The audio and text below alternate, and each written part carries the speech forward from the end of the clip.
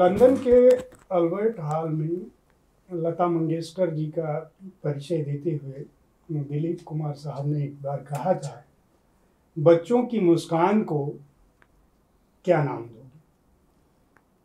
चाँद की रोशनी को, उसकी शीतलता को आप कैसे आंकोगे? जावेद साहब दिलीप कुमार साहब के बारे में कहते हैं कि जिस तरह से सूरज की रोशनी को आंका नहीं जा सकता। जिस तरह फूल की सुगंध को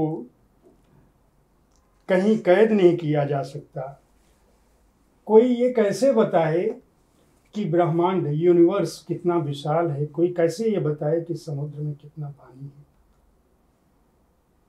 ये बात जावेद साहब ने इस किताब के हवाले से मैं कह रहा हूँ। मैं आज जावेद साहब के बारे में भी यही बात कहूँगा कि हमारे जैसे लोग जो हमारी पीढ़ी है, आने वाली पीढ़ी है, वह ये कैसे बताएगी कि जावेद अख्तर साहब क्या हैं, कितने हैं और कौन है? किस किस स्वरूप की मैं बात करूँ जावेद साहब की? उनके बचपन की बात करूँ? उनके संघर्ष की बात करूँ? उनके पारिवारिक दिनों की बात करूँ? उनकी ऊंचाइयों की बात करूँ, उनकी शायरी की बात करूँ, बतौर गीतकार, बतौर पटकथा लेखक किस रूप में बात करूँ? मैं जयप्रकाश पांडे हूँ, आप साहित्य तक देख रहे हैं और जावेद साहब हमारे साथ बतौर मेहमान मौजूद हैं। आपकी एक पुस्तक आई है जादूनामा, जावेद अख्तर एक सफ़र। अरविंद मंगलोई जी इसके लेखक हैं। यह पुस्तक अंग्रेज़ी में भी आई है।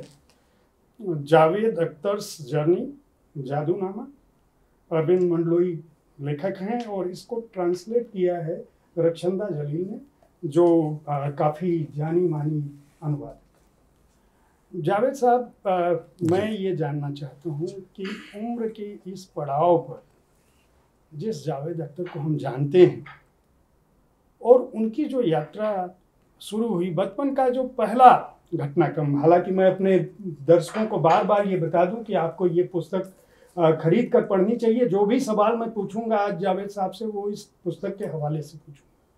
तो आप अगर विस्तार से जानना चाहते हैं तो आपको ये किताब खरीदनी पड़ेगी। लेकिन उससे पहले मैं कुछ बातें ज़रूर जो इस किताब के हवाले से। अगर बचपन में आप जाते हैं तो कौन सी ऐसी चीज़ है जिसको आप कभी नहीं भूलना चाहते? कभी? नहीं भूलना चाहते। बहुत कुछ है। आ, मैं समझता हूँ मैं बहुत खुशकस्मत हूँ एक तरह से कि मेरा बचपन एक ऐसी जगह गुजरा जहाँ जो आज मैं काम करता हूँ चाहे आ, वो पोइट्री हो या प्रोज हो चाहे वो गद हो के पद हो मैं जिस माहौल में पला बढ़ा तो 12-15 साल की उम्र तक आ, मुझे इतना उस बारे में मालूम हो गया था अपने माहौल की वजह से अपने जो जिस वातावरण में मैं पला भला कि कोई दूसरे को तो कोई जाके स्कूल कॉलेज में आठ दस साल पढ़ना पड़ेगा वो तो मुझे ऐसे ही मालूम हो गया। उस जगह जहाँ मैं था जहाँ मैं पैदा हुआ जहाँ मैं पला बढ़ा तो वो उस माहौल को मैं कैसे भूल सकता हूँ? वही आज मेरे काम आ रहा है। इस किताब में बहुत सारी घटनाएँ। जी।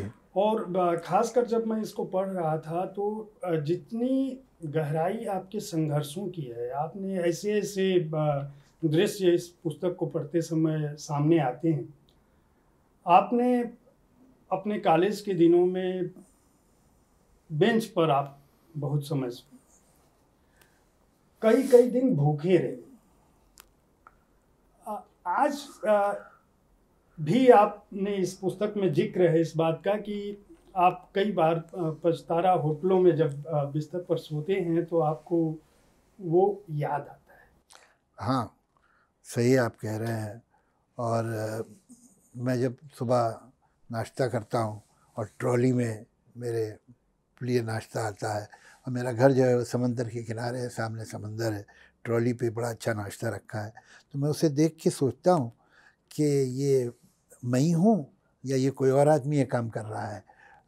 और ये जो रखा हुआ है मेरे सामने इतना, इसमें से आधा चौथाई, आठवां हिस्सा अगर उस दिन मुझे मिल गया होता तो मैं कितना मुझे खुशी हो कितना आराम मिलता। तो अब मैं लेटता हूँ बड़े बड़े जो मसेरियाँ हैं, इन होटलों में तो मैं सोचता हूँ इतना पैर फैलाने की अगर मुझे जगह उस दिन मिल गई तो मुझे याद आता है। और मैं इससे मुझे कोई दुख नहीं है, बल्कि एक कहना चाहिए कि शुक्रिया, ज़िंदगी का मैं अदा करना चाहता हूँ। मैं आभारी हूँ ज़िंदगी का और दुनिया का। कि उन्होंने मुझे इतना दे दिया। तो मगर मुझे ये भूलना नहीं चाहिए कि ये क्या है इसकी इज़्ज़त करनी चाहिए इसलिए कि मैंने इसके बिना के दिन देखे। जावेद साहब आपने इसमें इस किताब में अपने एक दोस्त का ज़िक्र किया है सिख मित्र का और उनका कड़ा आपके हाथ में है। वो तो आज भी है। आज भी है जी और बहुत मार्मिक प्रसंग है उसमें उसमें आपने ये उल्लेख किया है हम्म। कि वो बार बार जो हिंदू मुस्लिम दंगों के दौरान जो उल्लेख होता था हम्म। ये देखो इस लड़की के साथ हिंदू हम्म। लड़की के साथ इन लोगों ने दिल्ली में कितना जाति की और फिर आप कहते हैं कि भाई तुम क्या बार बार मुझे ये बताते हो कि मुसलमानों ने ये जाति की ये जाति की। कुछ नहीं आपको उल्टा याद जी। आपको उल्टा याद बताएँ। वो मुझे वो मुस्लिम लड़की पे क्या हुआ ये बता रहा था। और वो फला जगह मुसलमानों के घर कैसे जला दिए गए ये बता, बता। तो मैंने उससे कहा कि तुम क्या एक ही बार की कहानी सुना रहे एक तरफ़ की? तो जुल्म की ताली तो दोनों हाथ से बजी थी तो तुम दूसरी तरफ़ की बात तो हंसने लगा हो। चले अच्छा चलो आप बीती बताऊँ कि जग बीती बताऊँ? तो मैंने कहा कि आप बीती बता दो। अब मैं दो ढाई साल से उसके साथ था। तो कह रहे यार, मैं तो तीन चार साल का था और मेरी पूरी फैमिली ग्यारह आदमी की मेरी आँखों के सामने कत्ल हुई। ये बात उसने मुझे इतने वर्षों बताई नहीं थी। मैं उसके कमरे में रहता था और उसने मेरे कपड़े भी सिलवाए थे, इसलिए मेरे पास कपड़े नहीं थे और खाना मैं उसके अकाउंट में खाता था और भोपाल में सर्दी बहुत होती है और कंबल एक ही था उसके पास, मोटा सा तो उसी में हम दोनों सोते थे।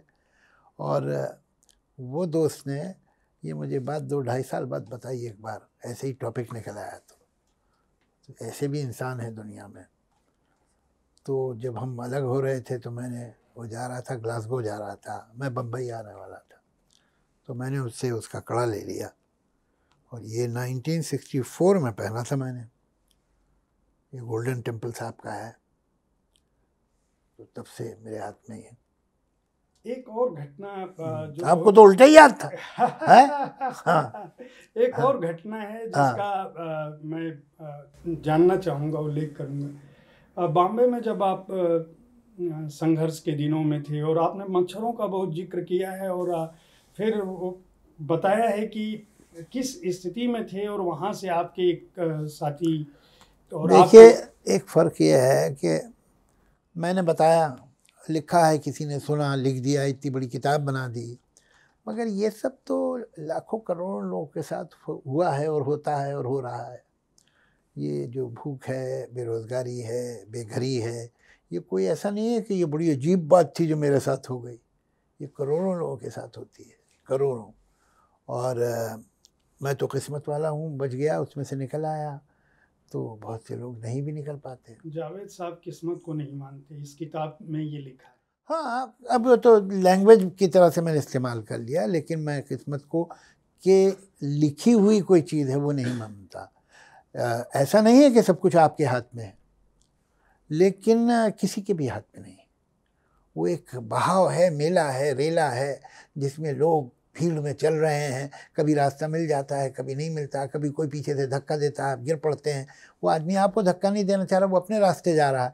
तो ये जो एक, वो है क्योस है, जो, सात बिलियन लोग इस प्लेनेट के ऊपर हैं, और हर आदमी किसी जतन में लगा हुआ है। हर इंसान की कोई कोशिश है, उसकी कोई ईगो है, उसकी वजह से तरह तरह के पैटर्न बनते हैं, बिगड़ते हैं।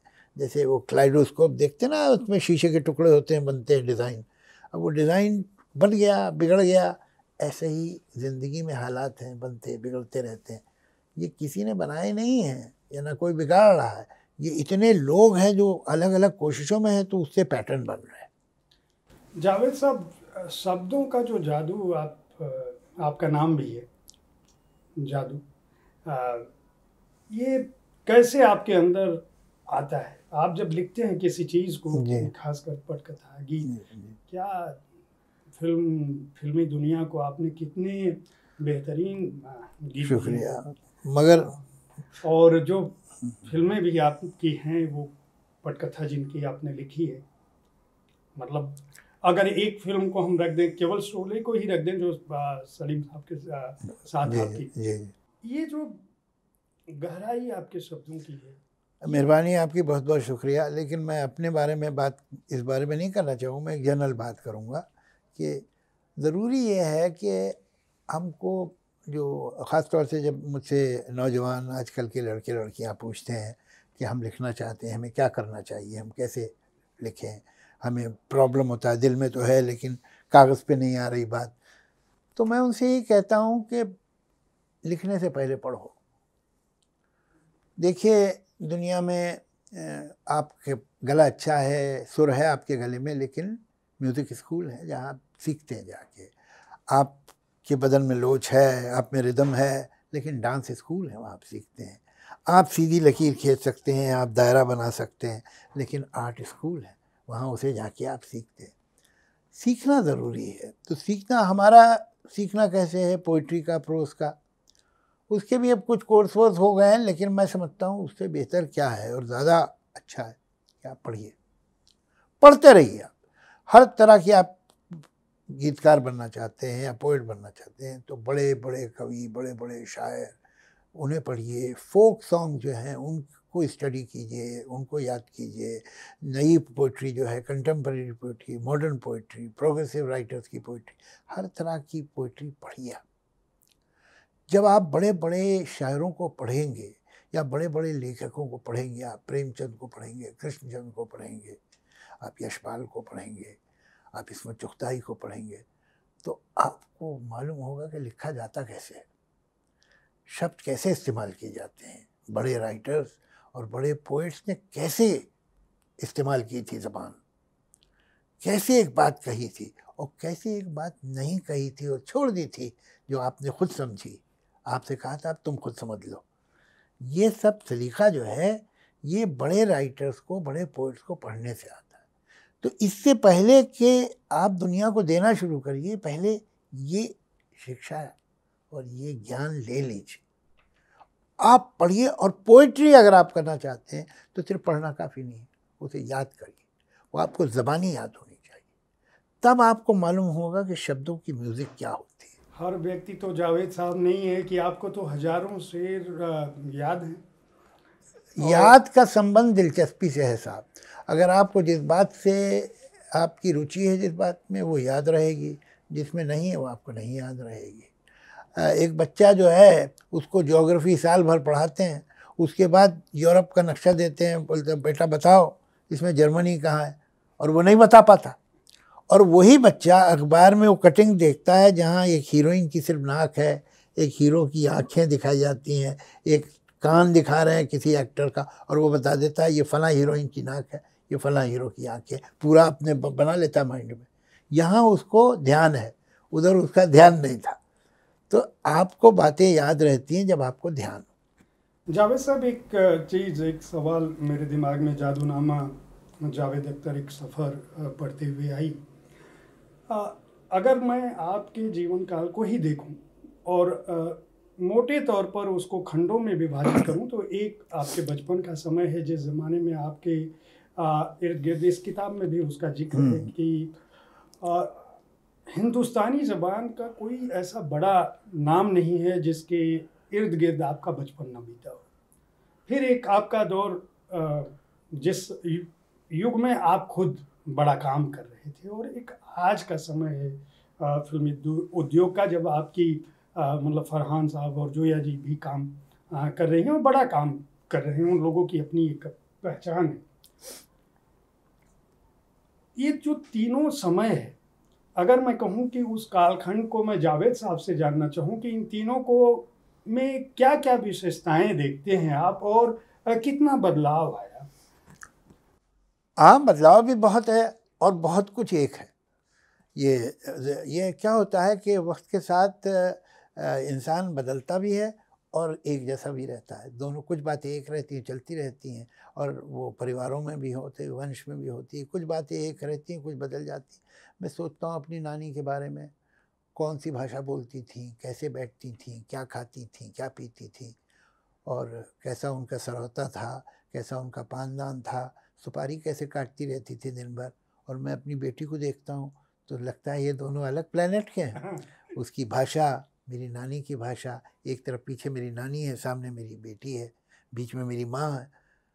ये सब तीनों एक तरह से देखो तो अलग अलग दुनिया के हैं। मगर कुछ बातें हैं जो कॉमन है। वो तब से अब तक वैसी की वैसी चल रही हैं।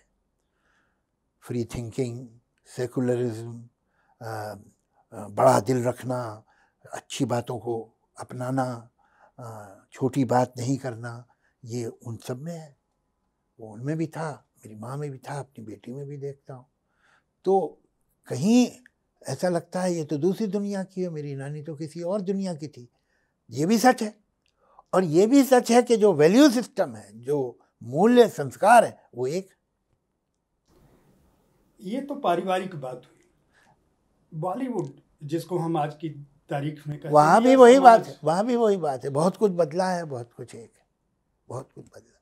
मुझे अभी कल ही कोई साहब सवाल कर रहे थे कि आजकल जो हिंदुस्तानी फ़िल्म इंडस्ट्री है उसे बॉलीवुड ना कहिए हिंदी फ़िल्म इंडस्ट्री कहिए वो बढ़ गई है कुछ आइडियोलॉजी के और पॉलिटिकल बेसिस पे। मैंने उनसे कहा बिल्कुल गलत बिल्कुल नहीं बदली जिसको ये जानना चाहिए जानना है कि नेशनल इंटीग्रेशन क्या चीज़ है सच्चा हिंदुस्तान क्या है?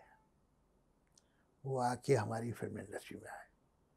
और वो देखे, कोई भी फ़िल्म ले लो, जाके एक फ़िल्म कोई सी भी उठा लो, जो पिछले साल बनी हो, दस साल पहले बनी हो छः महीने पहले बनी हो, या बीस साल पहले बनी हो, एक फ़िल्म ले लो। उसके टाइटल्स पढ़ो कि इस फ़िल्म में किन किन लोगों ने अपना योगदान दिया है। फ़िल्म तो बनी तो आपको मालूम होगा कि हिंदुस्तान की, हिंदी की बॉम्बे में जो फ़िल्में बनती है, हर फ़िल्म, एक नहीं, हर फ़िल्म, इस देश के, हर जाति के, हर धर्म के, हर वर्ग के, हर भाषा के, हर जगह के, पूरब के, पश्चिम के, उत्तर के, दक्षिण के लोग एक फ़िल्म में मौजूद होंगे। और उनका एक ही गोल है कि ये हमारी फ़िल्म कामयाब हो, फ़िल्म हिट हो। अगर इसी तरह से हम पूरे समाज में एक हो जाएँ और हमारा गोल ये हो कि हमारा मुल्क सुपर हिट हो तो क्या बात है। बहुत कुछ सीखने के लिए फ़िल्म इंडस्ट्री में आदमी आके देखे, उसे समझे तो बहुत कुछ सीख सकता है। जावेद साहब, इस किताब में आपकी दो तीन चार बहुत अच्छे व्याख्यान राज्यसभा का एक आपका व्याख्यान है। एक संकट मोचन मंदिर में जब राष्ट्रीय जी जी। वो आपका व्याख्यान इसके अलावा आपने एक लेख कॉलेज के दिनों में लिखा था। बहुत ही मैं कहूँगा कि हर व्यक्ति को जितने भी भारतीय हैं हिंदुस्तानी हैं जावेद साहब का वह लेख ज़रूर पढ़ना चाहिए। जो धर्म को लेके आप सत्रह वर्ष का था सत्रह वर्ष का मैं हाँ। मतलब उसको पढ़ते हुए आश्चर्य होता है। आप क्या आपने लिखा है? मैं चाहूँगा कि उसकी कुछ बातें दर्शकों को ज़रूर क्योंकि हमें हम सारे लोग जो आज के समय में हैं हर चीज़ को भाग्य की भगवान के भरोसे छोड़ देते हैं। सत्रह साल की उम्र में जावेद साहब ने जो लिखा है उस पर आपको पुरस्कार भी मिला था वो कॉलेज के दिनों में। मैं चाहूँगा कुछ बातें उसकी ज़रूर। अब वो अब जो है इसमें है वो लोग पढ़े उसे लेकिन बहुत बहुत शुक्रिया। और ये भी इनका कमाल है हमारे दोस्त के अरविंद मंडलोई साहब के उसे उसे इन्होंने छाप दिया इसमें। ले आए। लेकिन सर मैं चाहूँगा कि धर्म के बारे में जो आप देखिए वो बड़े ये बड़ा एक वो कहना चाहिए वो सेंसिटिव लोगों की भावनाओं को ठेस पहुँच जाता है। अब ये कमाल की बात क्या है कि जो नास्तिक उनकी भावना ही नहीं होती। आपने कभी सुना है कि वो जो नास्तिक थे उनकी भावनाओं को ठेस पहुँच गया? क्या वजह भाव नास्तिक जो होते हैं एथीस जो होते हैं इनकी भावना क्यों नहीं सेंटिमेंट क्यों नहीं होते ये सिर्फ़ धार्मिक लोगों के सेंटिमेंट होते हैं, उनको ठेस पहुँच जाती है। और जो एथीस्ट होते हैं कभी आज तो आपने सुना कि किसी ने कहा, वो एथीस्ट की भावनाओं को ठेस पहुँच गया? ऐसा नहीं होता। इसलिए कि एथीस्ट जो मानता है, उसे वो लॉजिक से रीज़न से डिफेंड करता है। धार्मिक आदमी जो मानता है, उसे वो सेंटिमेंट से डिफेंड करता है, इसलिए कि उसके पास लॉजिक नहीं होती है, रीज़न नहीं होता वो बिना लॉजिक के, बिना रीज़न के एक चीज़ मान रहा है। तो उसे डिफेंड करना सिवाय इमोशन के और सेंटिमेंट के किस चीज़ से डिफेंड करेगा? उसका डिफेंस ही ये है, सेंटिमेंट। एथीस का जो डिफेंस है, वो है लॉजिक, रीज़न। तर्क, वो है उसका डिफेंस। जावेद साहब, इस किताब में लिखा है कि आपका एक एक इच्छा है आपकी ऐसी जिसको आप अभी भी करना चाहते हो। वह है किसी फ़िल्म का निर्देशन। करना चाहता हूँ, मगर मैं बड़ा काहिल आदमी हूँ। देखिए निर्देशन जो है ना, वो न सिर्फ़ दिमाग का, बल्कि बॉडी का भी बहुत मेहनत का काम है। और वो कर लेता तो कर लेता, अब मुझे शक है कि मैं कभी करूँगा। इसलिए कि है, दिल तो है मेरा। इसलिए कि मैं जब लिख रहा होता हूँ तो मुझे वो फ़िल्म साफ़ दिखाई दे रही होती है। मैं सीन जो लिख रहा हूँ, वो मुझे साफ़ दिख रहा है कि कौन कहाँ बैठा है, कैसे चल रहा है, कैसा माहौल है, कैसी रोशनी है, क्या सब दिखता है। तो वो मैं कभी कभी मेरा दिल चाहता है कि जो मैं देख रहा हूँ, ये मैं किसी और के हवाले कर दूँगा तो ज़ाहिर है वो अपना जो उसका सोच होगी उसके हिसाब से करेगा। तो मैं एक बार खुद करूँगी लेकिन चलिए आपने एक बार फिर कहा है तो फिर यूँ कामना जाग गई कि कर लिया जाए। एक बार मैं, देखते मैं ये सोचता हाँ। हूँ। कि आपके पास तो फरहान साहब से लेके जोया जी लेके जिसको भी अगर आप अपना मतलब आप किसी को भी बोल देंगे तो वो आपके लिए तो सब कुछ आपका है।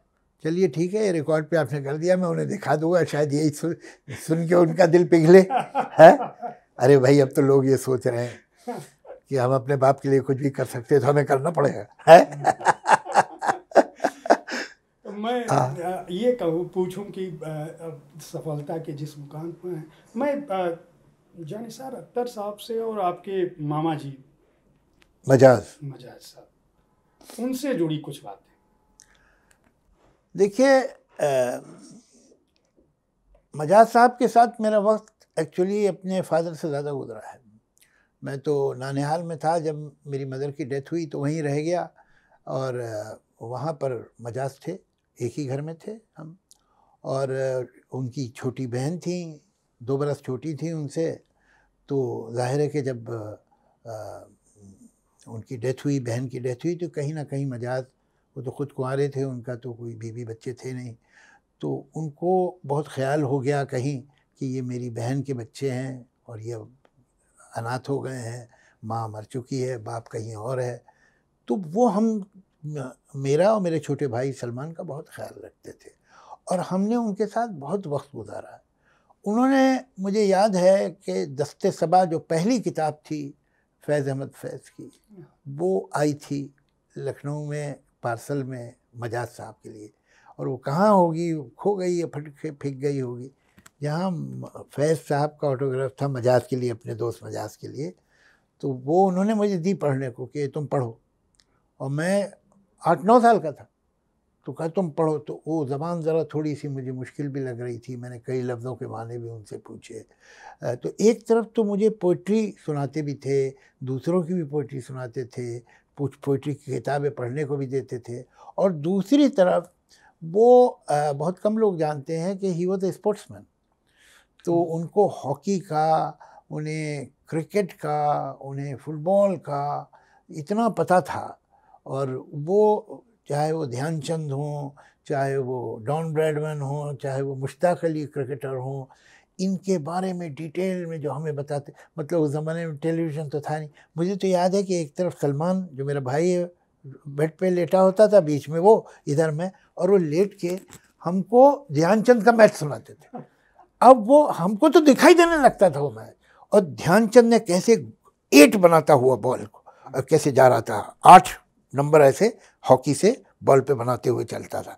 तो किसी की समझ में नहीं आता था कि बॉल किधर जा रही। और फिर वो सामने से उनका वो आया, डिफेंस का आदमी आया और ध्यानचंद ने इधर बॉल लेके यूँ टर्न तो वो पूरा हमको मैच दिखाई दे रहा होता था। तो हम तो ध्यानचंद की पूजा करने लगे थे। फिर वो डॉन ब्रेडमैन ने सेंचुरी कैसे बनाई? फिर वो मुश्ताक अली, जिसका हाथ फ्रैक्चर हो गया था लॉर्ड्स पे, और वो एक हाथ से वापस गया खेलने। एक हाथ में प्लास्टर और दूसरे हाथ में बैट, और उसने कैसे खेला? तो ये सब हमें तो हम तो ये सब हीरोज हमें लगते थे। फिर एक उन्होंने हमारा क्लब फॉर्म करवाया। मोहल्ले में हमारी उम्र के सात आठ साल के जितने बच्चे थे, सबको जमा करके एक क्लब बनाया क्रिकेट का। उसका नाम था जय हिंद क्लब। तो उसमें जय हिंद क्लब में फिर हम लोग क्रिकेट खेलते थे। वो भी खेलते थे हमारे साथ बॉलिंग करते थे। तो एक तरफ़ जहाँ उन्होंने पोइट्री से हमको इंट्रोड्यूस किया और हमको शौक दिलाया अब उनकी एक पोएम थी रात और रेल। तो वो बच्चों को ज़्यादा अच्छी लगती है इसलिए उसमें रेल का डिस्क्रिप्शन था रात को ट्रेन कैसे चलती है और कैसे आवाज़ आती क्या। वो पूरी कहानी। पंडित जवाहरलाल नेहरू ने वो पोएम सुनी थी आ, किसी गैदरिंग में तो जहाँ वो थे तो उन्होंने कहा कि ये पोएम तो भाई हिंदुस्तान के हर रेलवे स्टेशन पे लगी होनी चाहिए। तो वो हमको, उन्होंने दी पढ़ने को कि तुम ये सब पढ़ो। तो एक तरफ़ कहाँ लिटरेचर से इंट्रोड्यूस कराते थे, फिर उनके दोस्त आते थे बड़े बड़े पोइट्स आते थे जो ठहरते भी थे हमारे घर में। मुझे अच्छी तरह कई बड़े पोइट्स याद है जो हमारे घर में ठहरे हैं तो उनके पास भी बिठाते थे हमको। और दूसरी तरफ़ हमको स्पोर्ट्स तो मेरा आज भी जो इंटरेस्ट है स्पोर्ट्स में, वो परहैप मजाज की वजह से है। तो लिटरेचर हो या स्पोर्ट्स हो ये दोनों दिलचस्पियाँ उन्होंने पैदा कराई हम लोग सात आठ साल की उम्र में। क्या बात है। और जानी सार साहब के बारे में? उनके साथ मैं कभी रहा ही नहीं। मैं सिर्फ़ रहा शायद तीन चार साल की उम्र में। उसके बाद मैं कभी रहा नहीं। तो मेरी मेमोरीज उनके बारे में इतनी ज़्यादा नहीं है जितनी है कि जो मेरी माँ ने उनके बारे में मुझे बताया। तो माँ जो थी वो दोनों बच्चों को बताती कि तुम्हारा बाप कितना ग्रेट है और उसमें ये खूबी है, उसमें ये है, उसने ऐसा लिखा। तो वो हमको ज़्यादा मालूम था और हम बड़ी बचपन में बड़ी एकदम हमारी श्रद्धा थी अपने बाप से जो नहीं था वहाँ। वो अंडरग्राउंड थे उस जमाने। तो हमें वहाँ पर उनके कुछ कपड़े भी अलमारी में टंगे होते थे। तो उसमें से हमें अपने बाप की खुशबू आती थी हम लोग सुनते थे उस कपड़े को। वो बाद में मालूम हुआ कि वो खुशबू जो थोड़ी सी विस्की और थोड़ी सी सिगरेट की थी। तो जिसे हम अपने बाप की खुशबू समझ रहे थे। हाँ, तो आ, मगर ये बड़े होके भी जब जब मैं बम्बई आया तो मैं उनके साथ तो नहीं रहता था। आ, लेकिन ये कि बहरहाल जाता था उनके पास बैठता था और तो उनकी नज़र जो थी पोइट्री पे बड़ी गहरी थी। आ, मतलब मुझे याद है, मैं शायद नाम लेना ठीक नहीं होगा, लेकिन उनके जो कंटेम्प्रेरी थे, उनके साथ के जो बड़े पोइट्स और राइटर वगैरह थे, कई बार मैंने देखा कि वो फ़ोन करते थे ना कि भाई ये लफ्ज़ जो है, इसका इस तरह से इस्तेमाल ठीक है कि नहीं है? तो मतलब ये मानते थे कि भाई इस आदमी को सब पता है तो डिस्कशन करते थे उनसे। वो भी काबिल लोग थे, लेकिन बहरहाल अपने दोस्त से वो राय लेने में कोई हरज नहीं बड़े बड़े लोग लेते हैं। तो मुझे उन्होंने कई बातें ऐसी बताई जो बड़ी काम की थी। मतलब एक बात उन्होंने मुझसे कही कि देखिए, मुश्किल ज़बान में लिखना बहुत आसान है, लेकिन आसान ज़बान में लिखना बहुत मुश्किल इसलिए कि आसान ज़बान आप सिर्फ़ तब इस्तेमाल कर सकते हैं जब आप अपने ख्याल जो है आपका, वो आपके दिमाग में बिल्कुल साफ़ हो। मुश्किल ज़बान में क्या होता है बड़े बड़े शब्द इस्तेमाल किए आपने तो उसमें कुछ ना कुछ माने निकल ही आते हैं। लोग समझते हैं कुछ होगा। लेकिन आसान ज़बान में तो साफ़, जैसे शीशा धुला हुआ है, साफ़ दिखाई दे रहा है बाहर, ऐसी ज़बान होती है आसान ज़बान। तो फिर वो दिखाई देगा कि इसके पीछे ख्याल क्या है, सही है कि गलत है। तो ये बात मुझे बड़ी भली लगी कि आसान ज़बान में लिखना मुश्किल काम है और ये मुश्किल काम सीखना चाहिए। शबाना जी और कैफी साहब। कैफी साहब पे हमने जब पिछले साल साहित्य तक पे एक उनके लिए उनकी याद में एक कार्यक्रम किया था शबाना जी और बाबा आजमी जी भी उससे जुड़े थे ऑनलाइन हम्म, हम्म। देख रहे थे वो। हम्म। आ, मैं चाहूँगा कि उनके बारे में जो आपकी मतलब शबाना जी तो साथी हैं मैं कैफ़ी साहब के बारे में आपको बताऊँ मुझे कैफ़ी साहब के बारे में सोचता हूँ तो बहुत हैरत भी होती है। कैफी साहब एक गाँव में कस्बे में नहीं गाँव में एक गाँव में एक मिडिल क्लास ज़मींदार फैमिली में पैदा हुए थे जो रिलीजियस थी और वहाँ रिलीजॉसिटी थी एक शिया फैमिली थी। उनको एक कुछ उम्र में भेज दिया गया एक मदरसे में लखनऊ के जिसका नाम था कौलुल मदारस कुछ ऐसा नाम था ताजुल मदारस या क्या। उस मदरसे को उन्होंने छोड़ दिया, वहाँ से निकल के भाग गए। यहाँ से गाँव से एक मजहबी घराने में पैदा हुआ लड़का जिसे मदरसे भेजा गया था, वो वहाँ से निकला। कहाँ गया? मज़दूरों में गया? किसानों में गया? उसकी जो जर्नी है, जो सफ़र है उसका, और जहाँ तक वो पहुँचे, अपने सोच में, अपने ख्यालात में, अपने संस्कारों में, अपने जीने के तरीक़े में वो सफ़र कितना लंबा है? देखिए, ऐसा कहते हैं कि शायरों की कथनी और करनी में बड़ा फ़र्क होता है। और होना भी चाहिए। इसलिए कि उनकी कथनी इतनी अच्छी होती है कि वहाँ तक करनी का पहुँचना बड़ा मुश्किल काम है।